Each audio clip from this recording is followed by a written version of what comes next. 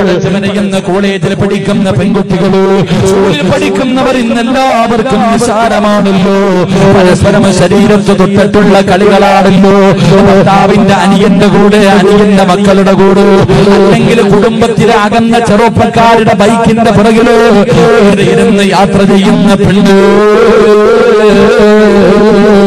അന്യപുരുഷന്റെ ബൈക്കിന്റെ പുറകിലോ കുടുംബത്തിലെ അകന്ന ചെറുപ്പക്കാർ ഏറ്റവും കൂടുതൽ സൂക്ഷിക്കേണ്ടത് നാട്ടുകാരെയല്ലോ കുടുംബത്തിലെ അകന്ന ചെറുപ്പക്കാരെയാണെന്ന് മഹാന്മാര് പഠിപ്പിക്കുന്നു പ്രളയപൂർത്തിയായ പ്ലസ് വണ്ണിൽ പഠിക്കുന്ന പ്ലസ് ടൂര് പഠിക്കുന്ന പൊന്നുമോൾ പ്രളയപൂർത്തിയായ മക്കളെ കണ്ടവന്റെ പുറകിൽ കയറ്റി ഇരുത്തിയിട്ട് തൊട്ടുരുമ്പി യാത്ര ചെയ്യിപ്പിക്കുന്ന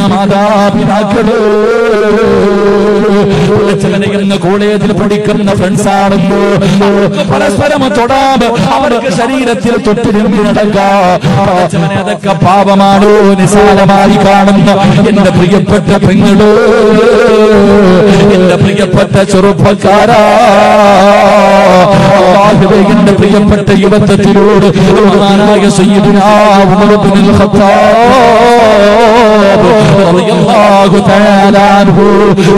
ഭരിക്കുന്ന കാലമുണ്ടല്ലോ. ഒരു ചെറുപ്പക്കാരനുണ്ടായിരുന്നു.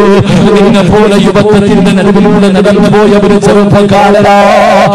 നിങ്ങൾക്ക് വല്ലാത്ത ഇഷ്ടമായിരുന്നു. അഞ്ചു നേരവും ബാങ്ക് പിടിക്കുന്ന സമയത്ത് പള്ളിയുടെ ഒന്നാമത്തെ സത്യലിരിക്കുന്ന ചെറുപ്പകാലത നിങ്ങൾക്ക് വല്ലാത്ത ഇഷ്ടമാ. ഒരു ദിവസം ഇശാ നമസ്കാരം കഴിഞ്ഞിട്ട് ഈ ചെറുപ്പക്കാരൻ തന്റെ വീട്ടിലേക്ക് നടന്നു പോകുമ്പോ ഒറ്റയ്ക്ക് ഇങ്ങനെ ഇരുളുള്ള ഒരു വഴിയിലൂടെ നടന്നു പോകുമ്പോ അടകുള്ള സൗന്ദര്യ റാണിയായ സുന്ദരിയായ പെണ്ണോടി വന്ന് കെട്ടിപ്പിടിക്കുകയാ ഒരു സുന്ദരിയായ പെണ്ണ് പാതിരാത്രി ഓടി വന്ന് കെട്ടിപ്പിടിക്കുകയാണ്. എന്നിട്ട് പറയുന്നു എന്റെ ആഗ്രഹമൊന്ന് സാധിച്ചതാടാ. ആരും കാണില്ലടാ എന്റെ മോഹമൊന്ന് സാധിച്ചു തരുമോ എന്ന് ശരീരത്തിലേക്ക് കയറി കെട്ടിപ്പിടിച്ചിട്ട് എന്റെ മാരണത്തിലേക്ക് ഒരു ചെറുപ്പക്കാരനെ ചേർത്ത് പിടിച്ചിട്ട് ആ പെണ്ണി യാചിക്കുമ്പോ ഈ ചെറുപ്പക്കാരന്റെ കണ്ണ് നിറഞ്ഞൊഴുകുകയാണ് കൈകാലുകൾ കിടന്ന് വിറയ്ക്കുകയാ. കിടന്ന് ചിന്തിച്ചു വന്നോ. ഞാൻ തെറ്റുകാരനായി പോയല്ലോ ഞാൻ വ്യഭിചാരിയായി പോയല്ലോ ഞാൻ നരകത്തിന്റെ അവകാശിയായി പോയല്ലോ. പൊട്ടിക്കരന്നുകൊണ്ട് ബോധം കെട്ടി വീഴുകയാ.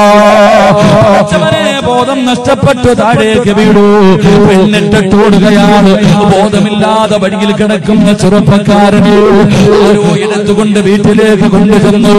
അവസാനം ബോധം വന്നപ്പോ പാപ്പ മകനോട് ചോദിച്ചു മോനെ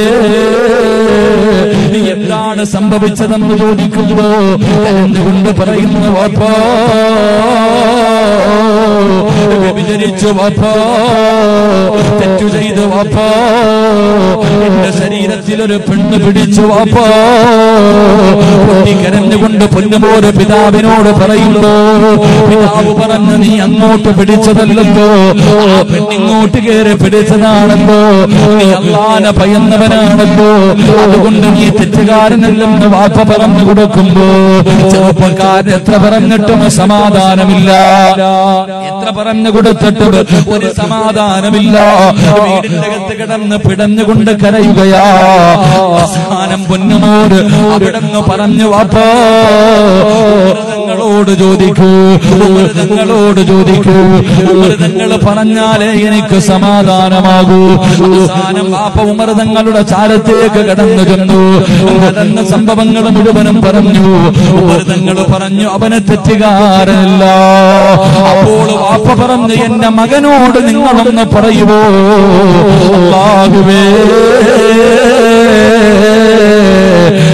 സംഭവം എന്തെന്നറിയുമോ വീട്ടിലേക്ക് മടങ്ങി വന്നപ്പോ കണ്ട കാഴ്ച എന്തെന്നറിയുമോ ഞാൻ പോയോ എനിക്ക് നരകം കെട്ടുപോ ഞാൻ ഭാവിയായി പോയോ ചിന്തിച്ച് കരഞ്ഞ് കരഞ്ഞ് കരഞ്ഞ് ഹൃദയം പൊട്ടികെട്ട് മരിച്ചു കിടക്കുകയാ. ഹൃദയം പൊട്ടികെട്ട് മരിച്ചു കിടക്കുന്ന ചെറുപ്പക്കാരനെയാണ് കാണുന്നത്. ഉമർ തങ്ങൾ വലിമനഹാ. مقام ربه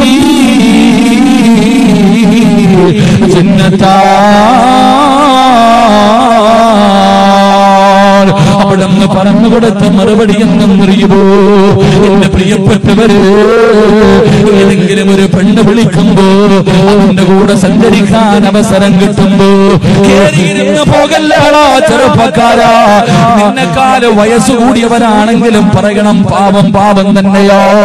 എനിക്കല്ലാതെ പേടിയോ. എനിക്ക് പടച്ചിറപ്പിനെ പേടിയോ. എത്ര ഫ്രണ്ട്സ് ആണെങ്കിലും ശരീരത്ത് തൊട്ടിട്ടുള്ള സ്നേഹം വേണ്ട. പറയാ കഴിഞ്ഞോ തരുന്ന പ്രതിഫലം റബ്ബിഹി. ജന്നത്താ.